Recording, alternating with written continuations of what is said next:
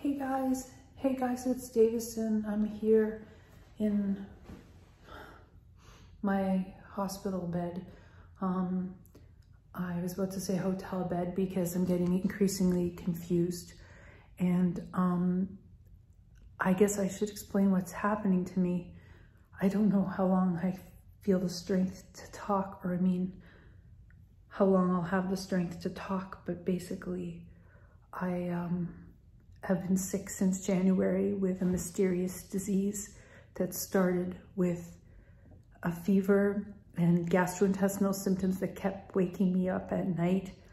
My heart would pound, and then I'd go to the bathroom only at night, number two, not number one.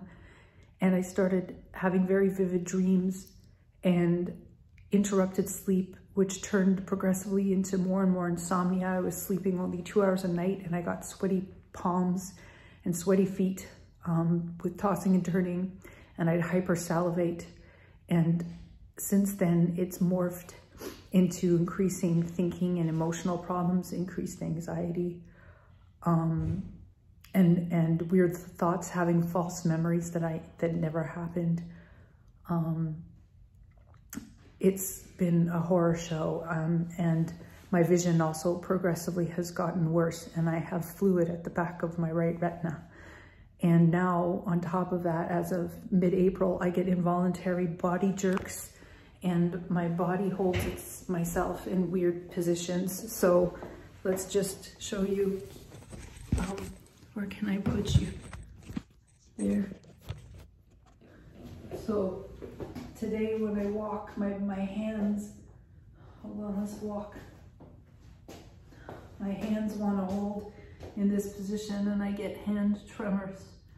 Like that when I hold them out, they're always shaking. Um, and I get body jerks when I lay in bed at night or if someone startles me. That's the startle myoclonus which is why I suspect that I have a prion disease, a sporadic prion disease that gradually um, builds up in your brain. It's proteins that are incorrect and misfold and you end up with holes. It's a form of mad cow disease. And so far, because scans haven't shown anything other than fluid at the back of my right retina, um, they and and because I've inc had increased anxiety, they think that I'm somatizing this and that it's not real, when in reality, um, or it's not real. It's that they don't know the reason for the symptoms, and I'm overly obsessed with my illness. Meanwhile, I keep suffering more and more. I, I tonight too. I I was thinking, where's my lanyard? Because nurses wear lanyards, and I've never worn a lanyard here, and I'm I'm forgetting the, the, sorry, excuse me, I also get gastrointestinal symptoms still too. I get waves of nausea. I also lost a massive amount of weight, but I've regained some because of the medication I'm on. Um, I lost, um, I lost like tw 20 pounds. I was down to a, well, maybe not, maybe 16. I was down to 122 pounds and my face has changed. I, I can't, I also, that was another thing. I can't laugh like I used to and the part of my personality that was fun, playful, and that loved to make videos died gradually as my health has gotten worse and worse. Um, and that's also too why they are treating the psychiatric side, but not these the symptoms of involuntary movement. And you can see like I have a flat face and I, the medication I'm on is making me grow more hair on my face. Um, but I'll show you the body jerks. So yeah, that's, um, I was in the middle of saying something, I cut myself off. Um, I've gotten more involuntary movements as of April. My handshake, I get jerks. There's just so many symptoms that I've had throughout the course of this because it's affecting my entire brain. Another thing that I've, I forgot to mention too is that I've had increasing number of red, tiny red um, uh, lesions, or they're not lesions really, I mean, they're like red spots, like little spots of blood beneath my, my skin surface all over my, my body. Um, I, I, I would show you some, but I can't turn the camera around because I'm doing this in one shot. But anyhow, let me show you. So actually, with regards to the red dots, I wanted that to be called Davison's sign if I die, when I die, because it's a sign of what's going on in my brain what what is often how your skin appear appears is a good reflection of your overall health and what's on the outside is a reflection of what's on the inside frequently so that's why i say like if if you're if yeah that, that's why i say if you're you're sick and you're battling an infection you might break out in more pimples well in this case i i've got these tiny red tiny red dots that are appearing in greater and greater numbers all over my body. And I want it to be called Davison's sign because doctors as of yet don't fully believe me, though I am seeing a neurologist soon again. Um, but here's my body jerks.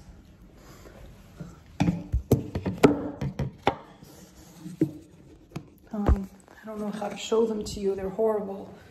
Can I put you down here?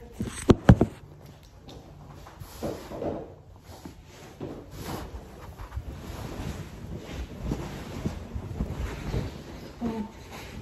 My, oh, my legs kick out involuntarily at night. Okay, hold on. Oh.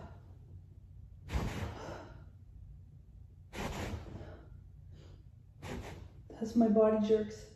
If I bend a certain way when I lay down, I get these involuntary jerks that won't stop. It's called myoclonus. So, huh.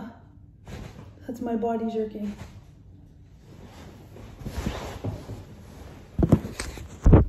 Oh, I feel so bad. I feel so bad and I'm in pain. I also get stabbing headaches and then sometimes clear fluid drains from my nose after the stabbing headaches. Um, I also, sometimes when I wake up at night and I close my eyes, I can see shapes. Um, and I see flickering of images. And so that's what's been going on with me. And I'm sorry I look so bad. I just, I'm sick and I'm possibly dying very soon. So thank you for all your support all over the years, or I mean, over all the years. And thank you for following my journey. I didn't think it would end so soon, and I didn't think I would end up with such a horrible disease that they don't have a diagnosis for, that they have mislabeled somatizing disorder due to a mood disorder. They claim that I was depressed and that's what led to all of this. I was never depressed. I was always happy. You guys know this. I was happy in December and then I got sick in January and never got better. And it started gastrointestinally with the flu and then ended up like this. And uh, there's no end to how much worse I keep getting. So thank you. Thank you um, live your life to the fullest. I understand what that means now. I've been thinking a lot about my past because I don't have much of a future. I love my son. I love you, Max. I love my family. I love you. I love you, my family. My mom, my dad, my brothers, my sister, Goldie, Jonathan. Um, thank you for all my fans. Um, who else do I love? Everyone in life. I loved life I tried to have so much fun. And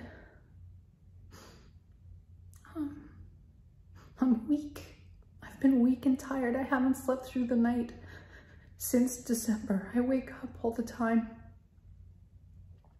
And my um, I get I get also muscle pain and and another thing I forgot to show you too my wrists are permanently contracted see the tendon in my wrist right there it's permanently permanently stuck in a position. So, um,